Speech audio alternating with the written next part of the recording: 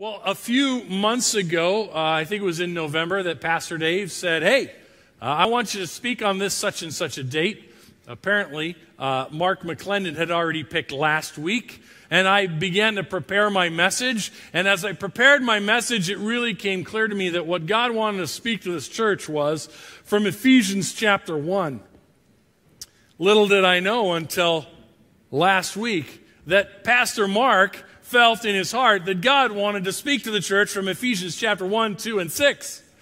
And so last week he preached, and I at first thought, oh no, he's stealing my message. And then I realized, wait a second, I think God has a plan for this church. God wants to speak to us from Ephesians. And so I'm really excited to bring a message today that I would say is sort of a prequel a prequel to Pastor Mark's message. Last week, he spoke about aligning ourselves with Christ, aligning ourselves with God's will, and making sure that we are going in the direction of God. And he used a verse that I love. It's from Ephesians chapter 2. It says this We are God's masterpiece, created in Christ Jesus to do good works which God prepared in advance for us to do. Now, I love that. It sounds good. And I love the idea of doing God's work. And I love the idea that I'm his masterpiece. And it sounds fantastic. How about you? Does that sound good to you? I think for most of us, we hear that and say, man, that sounds good. And, and doing things that God prepared in advance for us to do, I mean, that just sounds awesome. But far too often, we don't really believe that we're that person we don't really believe that God is actually speaking about us individually. And we see ourselves differently than what we read in Scripture sometimes. We don't identify ourselves with this calling of God.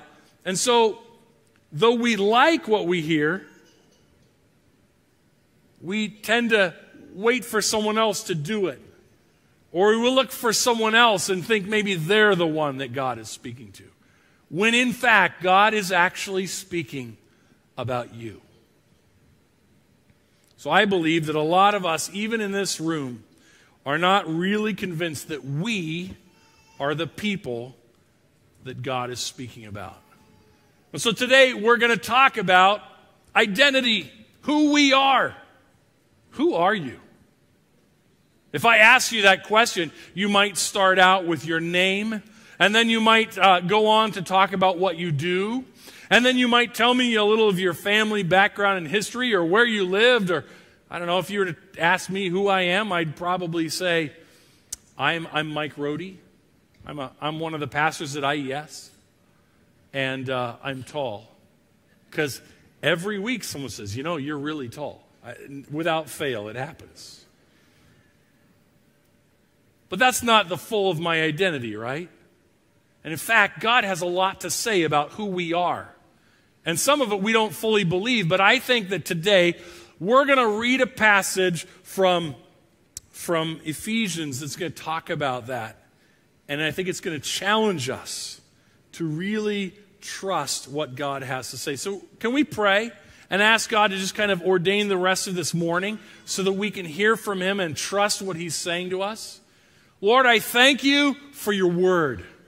You don't tell us lies, you tell us the truth. You don't withhold from us, you show us the truth.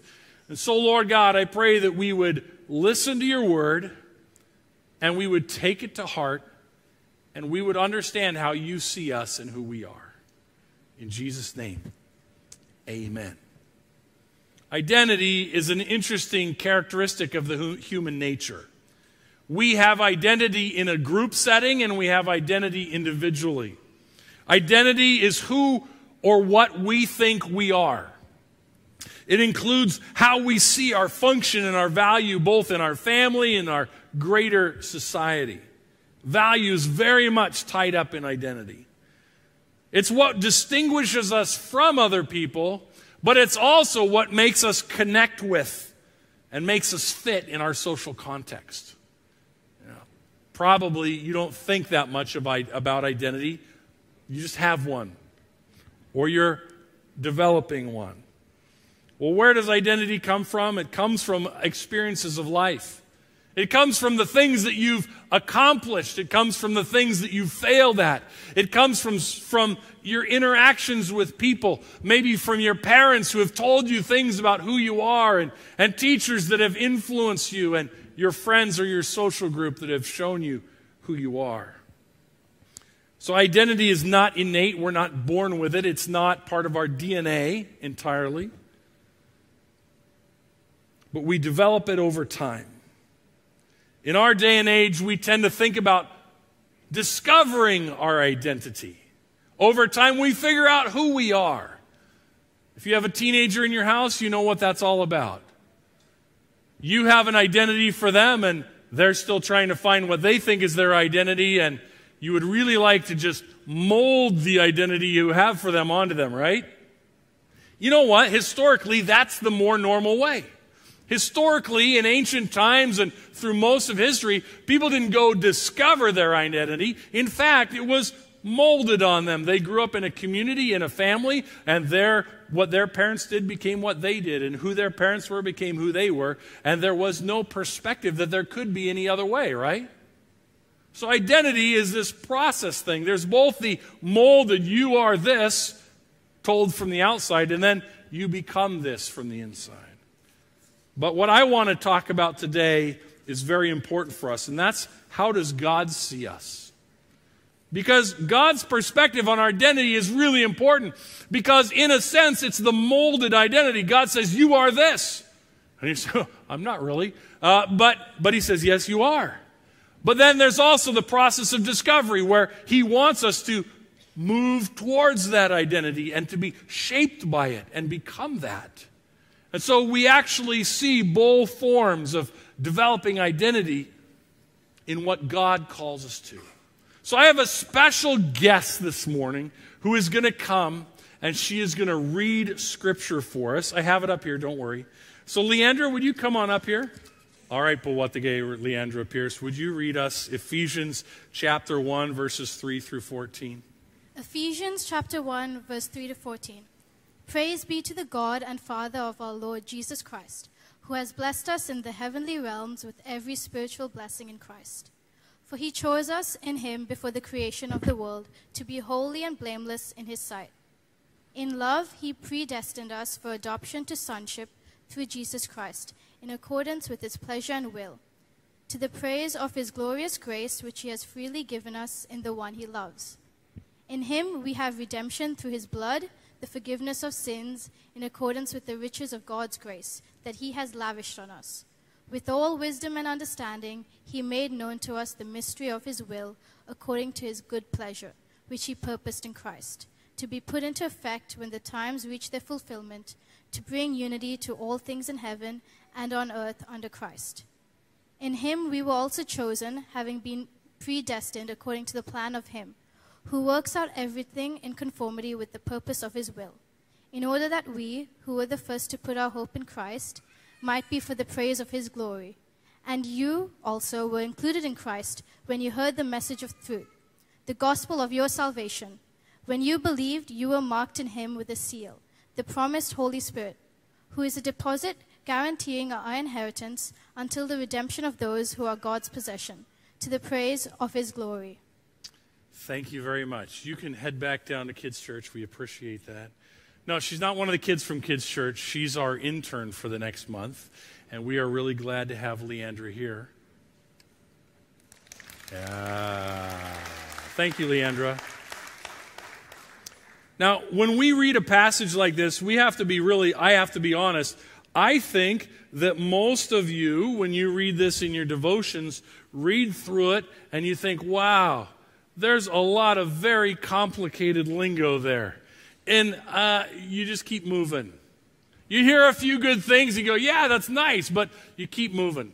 I want you to know, when I was in grad school uh, and I was taking Greek exegesis class, that means you take Greek and then you figure out how to read it in Greek good enough to like figure out what it says. We had to translate this passage, and in Greek, this is basically two really long run on sentences. So if it sounds bad in English, it's really bad in Greek. And so it is a little bit complicated to grab hold of what's here.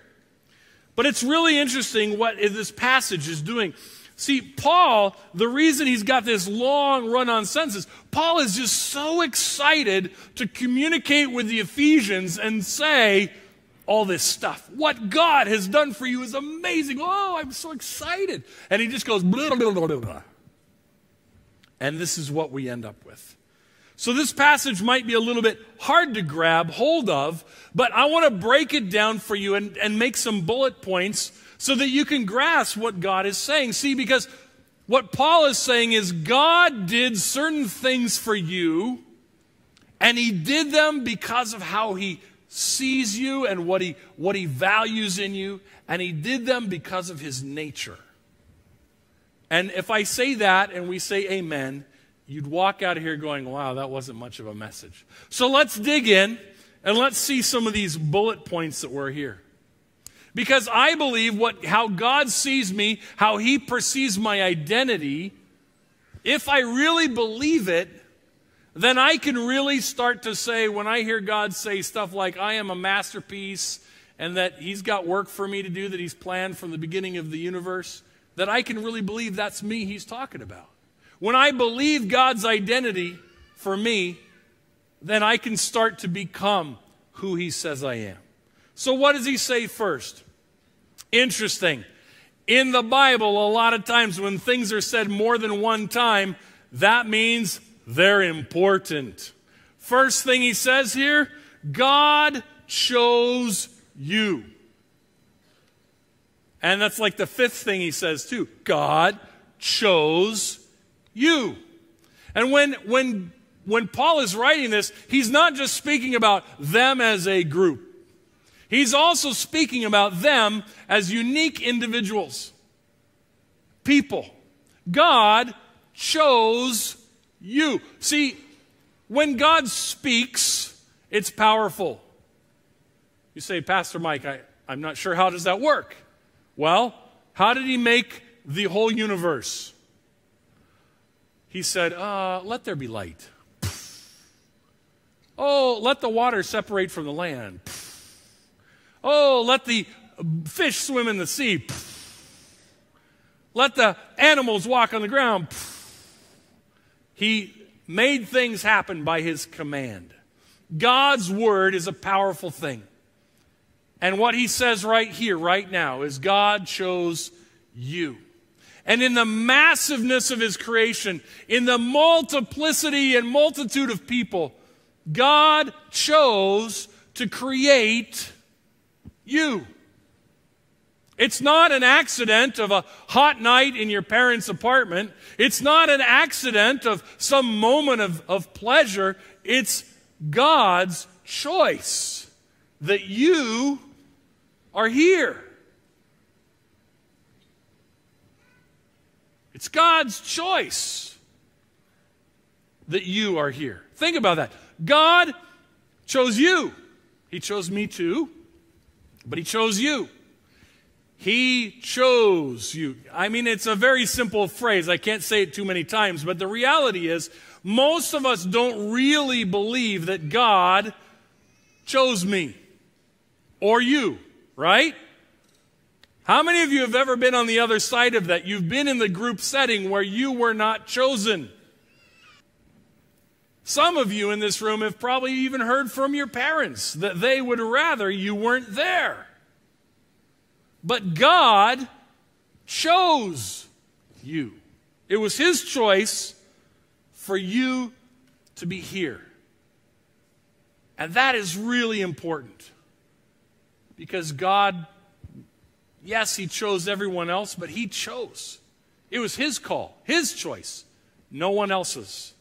Secondly, God's plan from the beginning was to adopt you as a son. Now, ladies, don't get offended by this. In the context with which Paul is writing, the son has the inheritance right, correct? In that context. And so God is speaking and saying, listen, I chose you, period. Man or woman, I chose you to have the rights of inheritance. Now, the word that's used here for adoption is really a legal term saying that someone was going to receive the rights of inheritance. Abraham complained to God, Oh God, I don't want to have to leave all my stuff to Gehazi, my servant. You said you'd give me a son. Where is he? But he was thinking about maybe he needed to adopt Gehazi. I think Gehazi's his name. But anyway, the idea of adoption was a real regular occurrence in that day, and it always had to do with inheritance. If you don't have someone to pass your stuff to, you adopt someone and you in- give them inheritance. Now, the amazing thing is when God chose you, he chose to adopt you. It was his plan from the very beginning. It wasn't some secondary, hey, oh, gee, they sinned. I need to fix this. It was actually God's plan from the very beginning that he would adopt you and give you the rights of a natural born son as an heir. You. Who else is a son of God with full rights of inheritance? Who? Jesus. That's who I'm thinking of. Also, the person next to you that believes, that trusts in God. So, you, God selected you to be adopted as Jesus' brother to have full rights of inheritance. You think about that.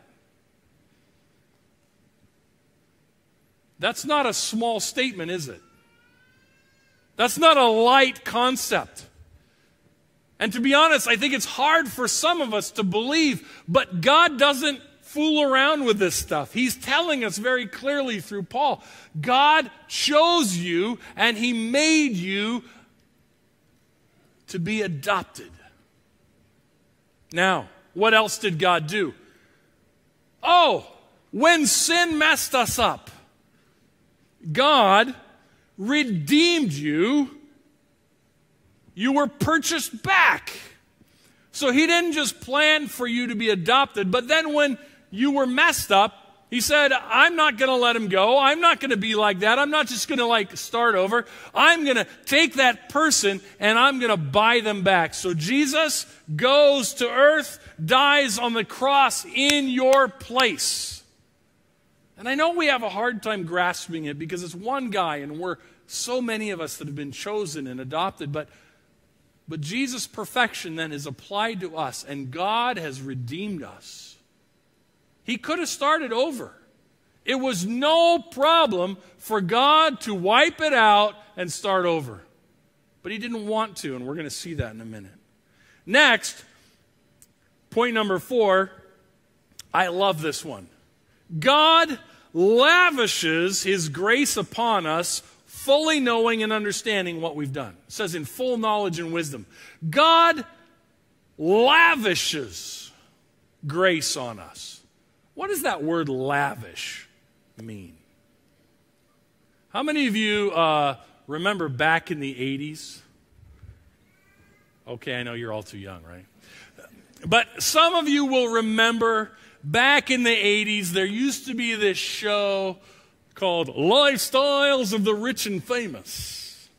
And in the intro, it always talked about they live lavish lifestyles. And you see all these rich people just like, you know, overflowing, you know, pouring champagne in their cereal and all that kind of stuff. Just over the top living.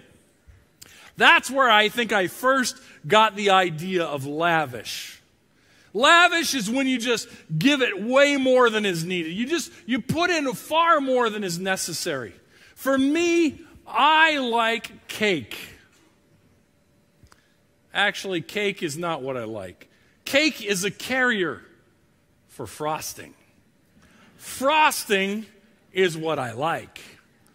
I like a certain kind of frosting, particularly buttercream frosting. And when I make a cake, I make a cake, nice cake, good cake, and then I lavish it with frosting. You know, if, if, if your cake doesn't have at least a centimeter to a centimeter and a half of frosting, what good is it? Right? I lavish it. When I make peanut butter sandwich, I don't I don't get it when I when I go get one of those kaya toast. There's like there's like toast and this little tiny glaze on it.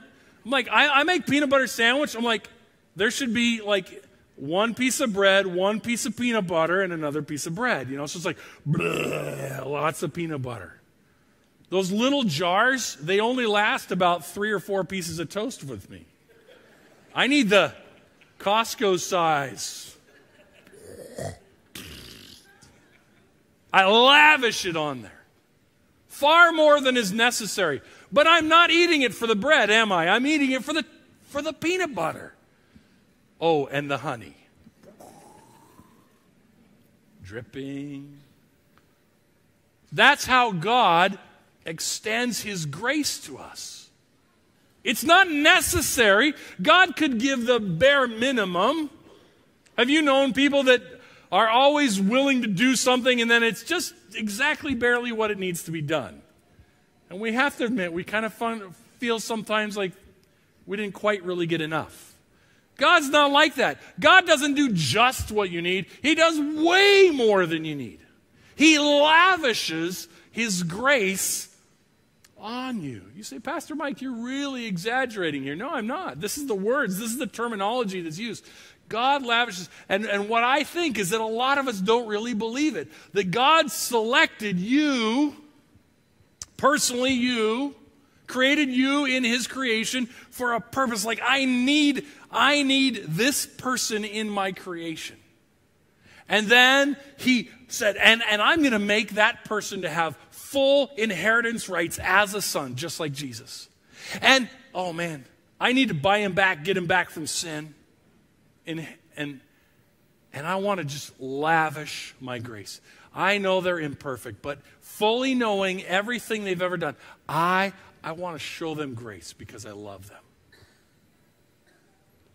And, and then on top of all that, what does he do? He reveals his will to us. He says, I'm not going to hide it from him. I'm going to tell them I love them and I want them and I desire them. Now, these are awesome to understand, and it's good to see what God has done for us. And, and, and, and it's amazing, but there's something more here. There, this isn't all there is in this passage. See, there's this little word. Um, as I said, I, I, took Greek. So, so uh, the extent of my Greek at this point is like four letter words. Uh, so there's a word called kata. You have it in Bahasa Indonesia too. And it kind of means sort of a same thing. It's a connector word with directional intent. Um, kata uh, kind of, it, it, it's, a, it's a connector word that associates two things in direction and even proportion or causality. We use in English the word according to.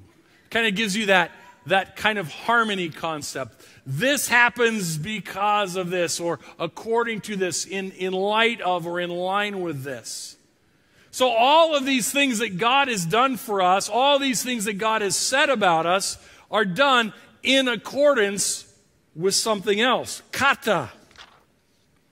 So, we see that God chose you, and God's plan from the beginning was to adopt you as a son kata, according to his pleasure and will. You think about that. God chose you. And God decided that you would be an heir and a son just like Jesus because of his pleasure.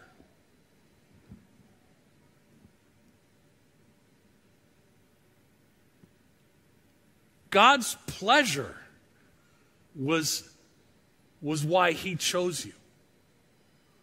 It made God happy. It pleased God to choose you, and it pleased him to make you an heir, a co heir with Jesus. God was happy.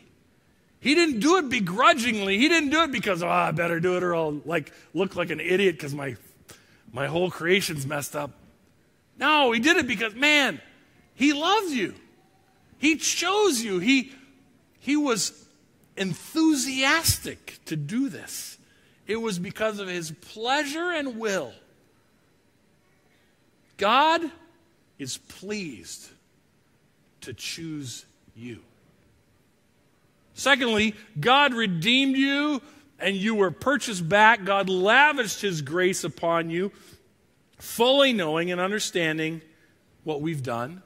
Kata, because according to his riches of grace. So, my redemption and the lavish grace of God is according to or because of his riches and grace. You know what it's not because of? It's not because of anything I did. It's not because I'm cool. It's not because I'm tall. It's not because I have this really nice white hair. It's not because I am good looking. It's not because I'm goofy. It's not because I'm good with kids. It's not because I'm American. It's not because I'm a guy. It's not because I'm a good dad or a husband. It's not because I work hard and accumulate wealth. It's not because I lead well. It's not because my business is successful. It's because God is rich.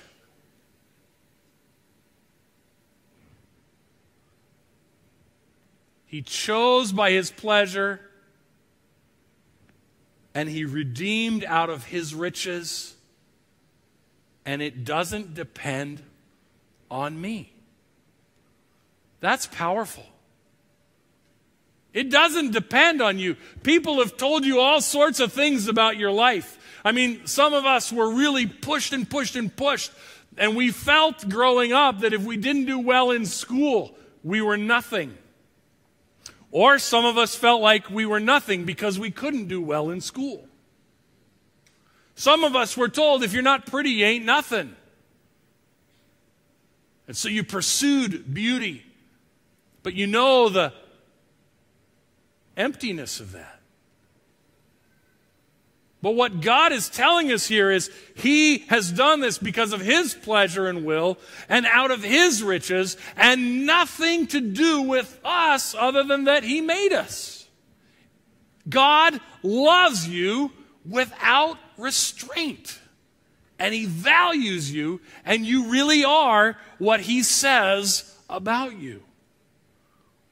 And then thirdly, it says, He revealed to us His will according to his plan designed by his will. That just it's it's he's making it very clear. It's all about him. He is the reason and he loves you. Why does it matter? Because I think we all grew up in a setting where at some level we felt like we had to do something to attain value. Some of you more than others. The longer I've been in Southeast Asia, the more I've heard stories that make me sad of how people have perceived their value based on what others have said or how others have treated them. I've watched my own kids struggle with it here. But our value is not dependent on what others see. Our value is not dependent on what we accomplish. And so we have to ask the question about our own identity.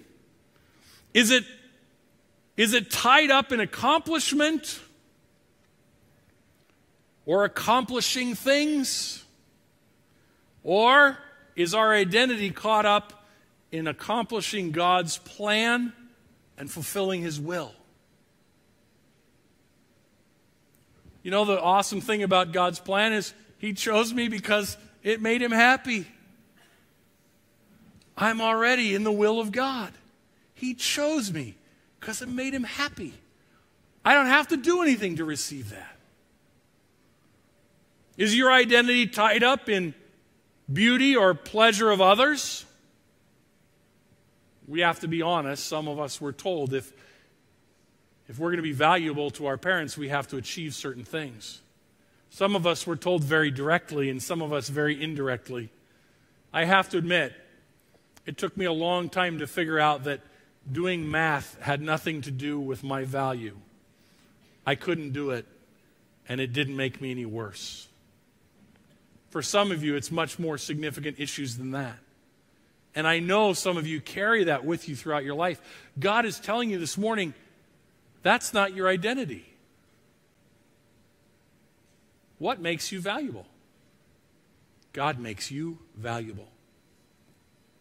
If you've been left behind by people, that doesn't make you invaluable, unvaluable. God makes you valuable. God created you. God made you. God purposed you into existence for His pleasure because He wanted you to be here. And that is your value. If we don't believe what God says about us, we will not believe that we have a place in His kingdom. And we will not believe that we have a purpose or role to fulfill in God's kingdom. And we will not believe that we have the, a value that God has placed on us. If we don't believe these things, then we cannot be aligned with God's will. We won't fulfill the great passage that we read last week. Ephesians 2 8 through 10, this is what it says. And you think about it in the context of what we said. If you believe what God said about you, it says this for it is by grace you have been saved through faith. And this not from yourselves, it is the gift of God. Not by works, so that no one can boast. For we are God's handiwork, created in Christ Jesus to do good works, which God prepared in advance for us to do. if I believe what God said about me, if you believe what God said about you, then we can believe this. And we can go forward in life in confidence, knowing full well that this is doable because God said it and He's happy with me. He's pleased for me to be here. And He made me a co heir with Jesus and He'll enable me to do what He's called me to do.